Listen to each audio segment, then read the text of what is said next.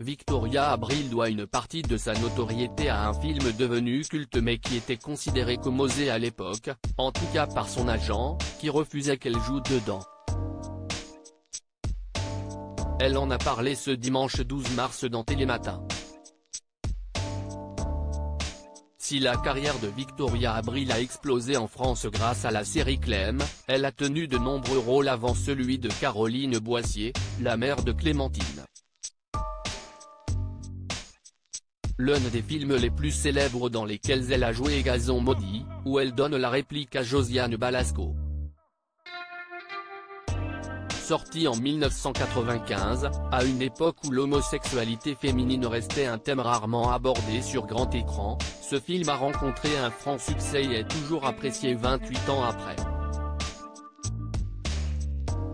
Ce dimanche 12 mars, Victoria Abril était l'invitée de Télématin et elle a fait quelques révélations sur Gazon Maudit, dans lequel elle joue une femme lesbienne du prénom de Loli.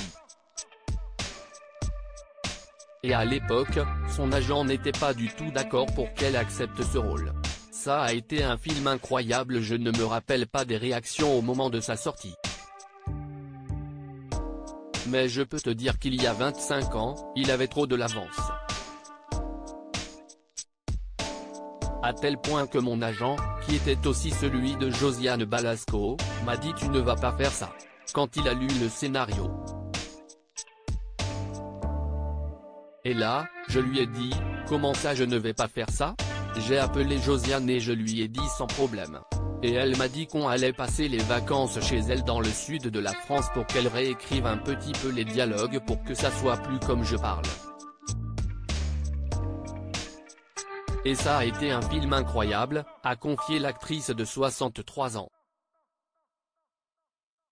Victoria Abril et Josiane Balasco avaient déjà joué ensemble avant Gazon maudit ce film qu'elle considère hyper important a fortement contribué à l'explosion de sa notoriété en France qui était déjà bien en place en Espagne. Sur le plateau de France 2, elle a expliqué que Gazon maudit est arrivé bien après Almodovar, un réalisateur espagnol pour lequel elle a tourné dans plusieurs films. Avant d'accepter de jouer pour le film de Josiane Balasco, les deux actrices se connaissaient déjà très bien. Ensemble, elles ont joué sur scène juste avant le tournage de Gazon Maudit. Le peu de théâtre que je faisais, je le faisais déjà avec le Splendide. C'était Nuit d'ivresse avec Josiane Balasco et Gérard Jugnot, a conclu Victoria Abril. À lire aussi Victoria Abril fait une jolie surprise à Penelope Cruz dans 20h30 le dimanche sur France 2 article écrit avec la collaboration de 6 médias.